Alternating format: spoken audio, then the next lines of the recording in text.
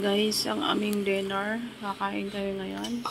With matching uh, sel sili na mayroon siyang garlic. Yan. At saka yung steam na karne. Yan gulay. Sari-saring gulay yan. Yan pagkain namin.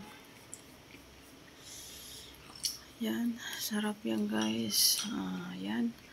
Ah, Chinese recipe yan guys. Chinese recipe. Chinese recipe. Yan, kawain ng aking alaga. Kumuha ng gulay.